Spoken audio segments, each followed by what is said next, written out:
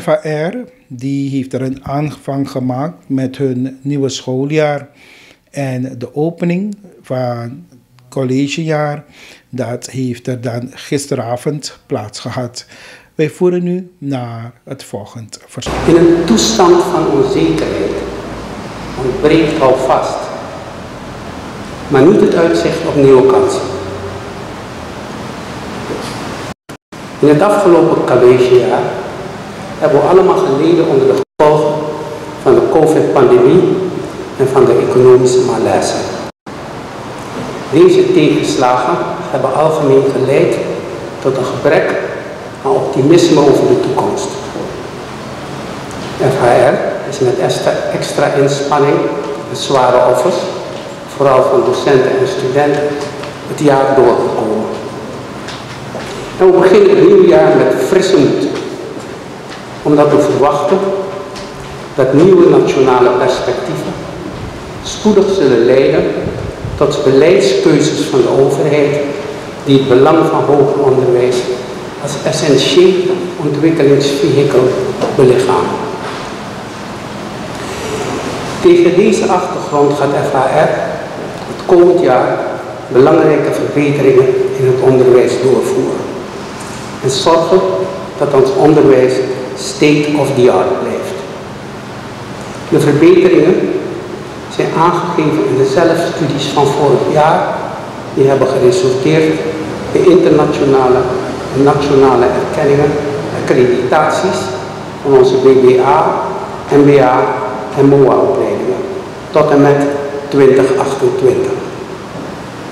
Met deze accreditaties zijn, samen met de eerder verkregen accreditaties van de Master in Public Administration en de Master in Human Resource Management opleidingen.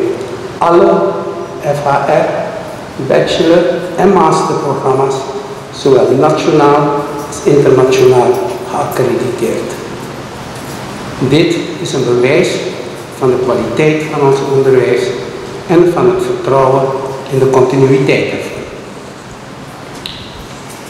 Ik zal dit welkomstwoord wijden aan de bespreking van drie voorgenomen wijzigingen in het onderwijs, in ons onderwijs. Drie wijzigingen die ertoe doen, omdat ze belangrijke leerdoelen betreffen. Ze zijn in de missie van FHR verwoord als het bijdragen aan een goed opgeleide samenleving, een educated society, het onderhouden van een ambitieuze leeromgeving, een ethical and ambitious learning environment en het uitbreiden van professionele en sociale competenties met betrokkenheid bij het algemeen belang. Een commitment to public good. In een goed opgeleide samenleving is hoger onderwijs niet in de eerste plaats een carrièrepad voor bevoorrechten. Het percentage aan hoogopgeleiden in Suriname is 2% van de beroepsbevolking. En dat is een fractie van overeenkomstige percentages in goed opgeleide samenlevingen. Zo heeft in Nederland 40% van de bevolking een opleiding op HBO of universitair niveau genoten. En nog 40% een MBO-opleiding. Toen ik dat aan mijn vrouw voorlas, zei ze, we have a long way to go. Er wordt wel gezegd dat een land waar onderwijs achter in de rij staat, het spoorbijster is. De gezondheidscrisis en de financieel-economische malaise hebben gemaakt dat ook bij ons het onderwijs ver achter in de rij staat.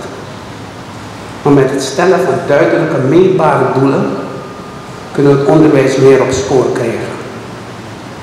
Een van die doelen waar FHR zich aan wil committeren is groei van het aantal afgestudeerde hoger onderwijs, onder, hoger opgeleiden met gemiddeld tenminste 20% per jaar en dat is in vier jaar een verdubbeling.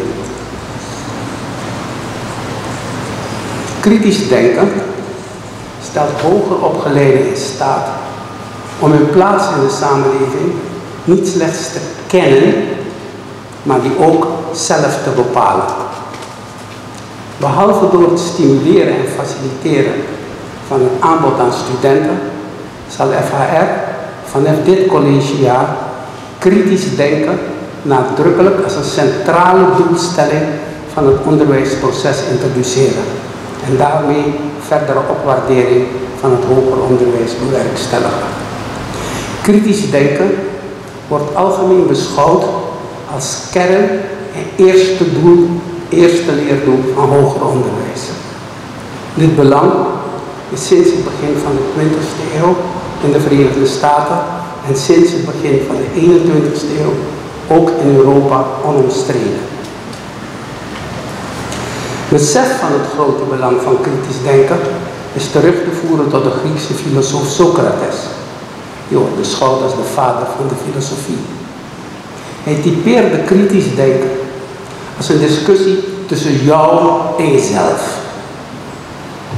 Als een solitaire activiteit waarbij je eigen aannemers, aannames eronderuit haalt en nuanceert, zodat ze beter aansluiten bij de werkelijkheid die nooit enkelvoudig, enkelvoudig en holistisch, maar altijd meervoudig en complex is.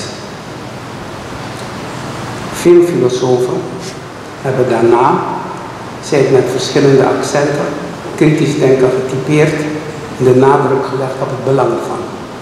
Elke enkele van hen komen hierna terloops ter sprake.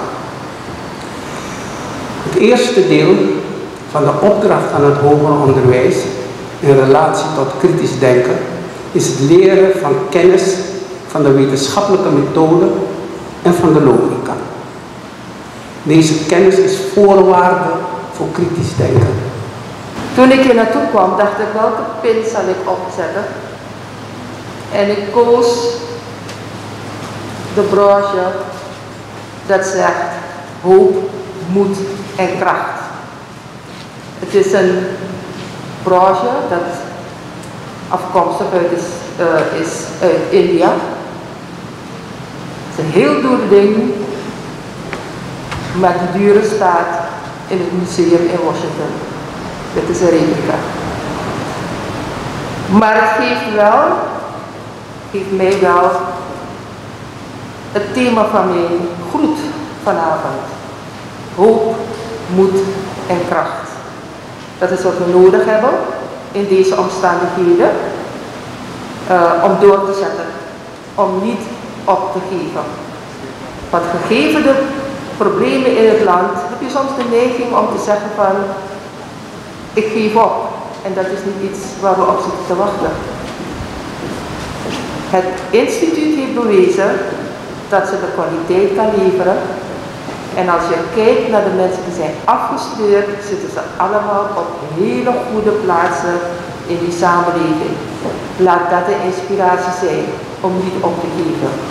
Laat ook een inspiratie zijn het feit dat er aardig wat industrie in ontwikkeling is. Soms zien we de dingen niet en plotseling zijn ze er. Maar je kunt niet wachten dat ze er zijn. Omdat eigenlijk verwacht wordt dat wij zelf ook bouwen. Dat we niet wachten wat op ons afkomt, maar dat we zelf ook bouwen. En dat zelf bouwen, dat zelf creëren, dat zelf maken van die samenleving, dat is onze kracht. We hebben het in onze eigen handen en we mogen dit land zelf opbouwen. Met alles wat om ons heen is. En het, meeste, het meest belangrijke daarin zijn de mensen om ons heen. Want de samenleving wordt gebouwd door mensen. Niet door kapitaal, niet door uh, grondstoffen in de grond, maar door mensen. Kritische mensen, zoals Hans dat ze net, sorry, dokter Mapo, dat ze net zei. Toen ik naar hier reed, ik had geen tijd om een speech te schrijven. Maar ik dacht, dat hoeft ook niet in dit gezelschap. Dit gezelschap hier klinkt als mijn huis. Hans en ik zijn jaren geleden samen begonnen te kijken naar wat is er nog meer mogelijk. Ik ben er zo trots op dat hij niet heeft opgegeven en dat hij doorgegaan is. Overigens had ik verwacht dat jij de ambassadeur zou treden, die nu getraind worden. Dat was onze eerste, allereerste, kan je nog herinneren, ons allereerste doel was mensen op buitenlandse zaken trainen. En dat gaat steeds door, dat is er nog steeds. En we zijn zo trots dat we straks hopelijk nieuwe getrainde mensen hebben. Feit is dat in die onderwijsveranderingen die nu gaande zijn, men zegt, ja maar je focust te veel op dat basisonderwijs. Het basisonderwijs, lagere scholen, middelbare scholen, middelbare beroepsopleidingen. Ik kom net van een opening van een middelbare beroepsopleiding waar ik ook een toespraak heb gehouden. Ik heb inderdaad gefocust te veel op dat basisgedeelte. En de reden zat precies daar wat in die speech van jullie rector aan de orde is gekomen. Namelijk die doorstroming naar het hoger onderwijs. Het percentage dat daar terechtkomt is veel te laag. Het percentage dat uit ons systeem valt is veel te hoog. Er is iets fout met het systeem. Dus ik ga jullie hulp nodig hebben om mij kritisch te blijven volgen en mij adviezen te geven. Want daarvoor zijn jullie een hoger onderwijsinstituut. Een hoger onderwijsinstituut heeft de potentie om die samenleving te analyseren en om kritisch te kijken naar wat goed gaat en wat fout gaat. En ik ben wel een van de mensen die heel graag positieve kritiek accepteert. Iets waarmee ik iets kan doen. Iets waarmee ik de volgende stap kan zetten. En laat niemand je vertellen dat je in eentje een samenleving opbouwt. Dat, dat lukt niet. Over de kwaliteit gesproken. De keuze voor het thema van vandaag, van de keynote speaker, van het gastcollege, is goed gekozen. Heel goed gekozen. Het is precies waarin we op dit moment uh, leven. Snap je de problematiek die we hebben? En waar ik me soms erg zorgen over maak, maar tegelijkertijd hoop, moed en kracht gaat maken dat we ook dit overkomen. Snap je dus dat ook dit het hoofd gaat bieden. Dat we ook met onze eigen menselijke eigenschappen in staat zullen zijn om deze crisis het hoofd te bieden. Maar jullie zijn behalve een, jullie zijn niet zomaar een hoger onderwijsinstituut. Jullie kijken, jullie opleidingen focussen zich op mensen en het focussen zich op, en het focust zich op dat business. Een deel daarvan is een business approach. En dat moet je hebben, wil werkelijk ontwikkeling brengen. Van onze kant uit heb ik geprobeerd om die studieleningen weer op gang te brengen.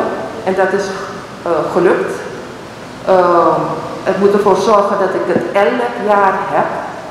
Omdat ik je de garantie moet geven dat wanneer je een lening neemt nu, dat je het ook elk jaar hebt. En niet ergens middenin er iets tussenin komt dat je niet verder kunt. Dus dat is een verantwoordelijkheid die ik op neem. Een andere verantwoordelijkheid uh, die ik al op me genomen heb, ik denk dat Hans daar ook bij betrokken was. Dat is uh, jaren geleden, 35 jaar geleden, zijn we begonnen met het opzetten van het accreditatiebureau NOVA. Daar hebben we heel veel energie in gestopt. En er is maar één reden voor, de kwaliteit is wel van belang. De kwaliteit is van enorm belang. En het bouwen van het accreditatiebureau NOVA heeft mij toen enorm veel geleerd wat betreft uh, kijken naar kwaliteit. Want het is niet zomaar iets. Het is een vrij complexe aangelegenheid. Maar we hebben het met alle liefde gebouwd toen. Gelukkig waren er veel meer mensen die erin geloofden. En we hebben Nova gebouwd. Ik heb vorige week uh, de nieuwe, of twee weken geleden, de nieuwe, het nieuwe bestuur van Nova benoemd. Met een speciale opdracht. Kijk hoe ik een tweede instituut kan bouwen dat zich gaat focussen op de kwaliteit van het middelbaar onderwijs. Omdat als het daar niet goed gaat, je geen sterke mensen krijgt in het hoger onderwijs. Dus er is veel werk te doen en bij het werken, bij het, ik wil niet praten van vernieuwingen, maar op zijn minst van verbeteringen vanaf de lagere school tot uh, de universiteit hebben we jullie nodig. En dan we jullie uitnodigen, gevraagd of ongevraagd, als instituut commentaar te leveren, bijdrages te leveren op het werk dat ik doe.